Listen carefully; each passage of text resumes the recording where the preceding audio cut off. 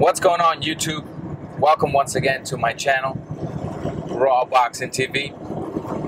Let's go ahead and talk about last night's fight. Uh, Bermane Stiverne versus Chris Arreola.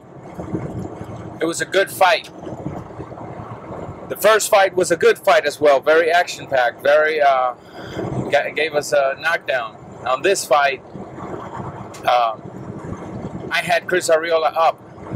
I had uh, at the time of the knockdown of the knockout, I had Chris Arreola four rounds to one. Uh, reason being, from the beginning, Bermane Stiverne was not as busy. Chris Arreola was taking the fight to him.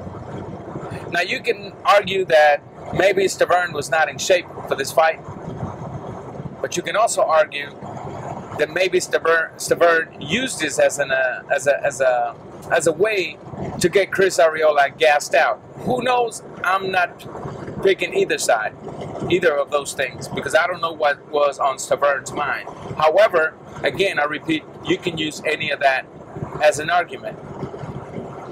But let's go ahead and move forward to the knockout.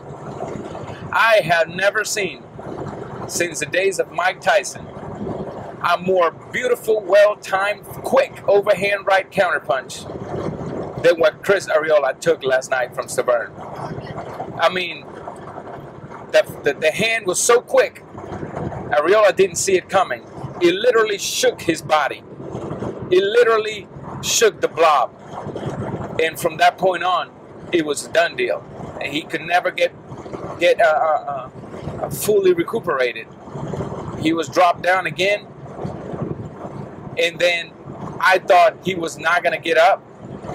Me personally, as a referee, he he gave him too much time. Chris Arreola did not need to take that punishment, that third uh, uh, stoppage or knockdown. Chris Arreola did not have to go through that. The second, the second knockdown was enough to go ahead and consider the fight over, due to the fact that Arreola was wobbly. But the referee was giving him time. He gave him an extra second or two. Now you might think, well, that's not enough time. And you might be right. But legally, you should only get 10 seconds. Um, again, guys, things like this should not be happening in boxing. If, if you as a referee see that a fighter is hurt, then that's what it is. The fighter is hurt. Uh, do not try to put this fighter through, uh, oh, let me see if he still can pull it out. This is, th those are things that happen one in a lifetime. You don't always get a fighter that's hurt that bad and comes back and wins a fight. Notice what I said. You don't always. Not that I. Not that you never. It has happened in the past. Castillo versus uh, Corrales is a, perfect example of that. But in last night's case, um, Chris Arreola was done.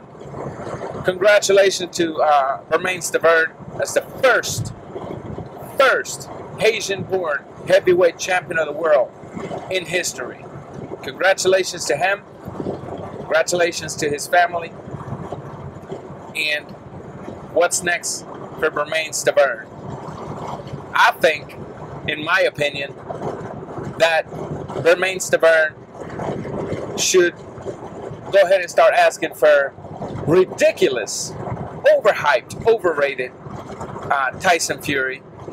And after that, after he gets Tyson Fury, go on and get the Klitschko. Can he beat Klitschko? Why can he? Why can't? Why can't he beat Klitschko? All he's got to do is train for Klitschko. Who has Klitschko fought in the last five years, other than David Haye, that possesses skills like Bermane Stiverne?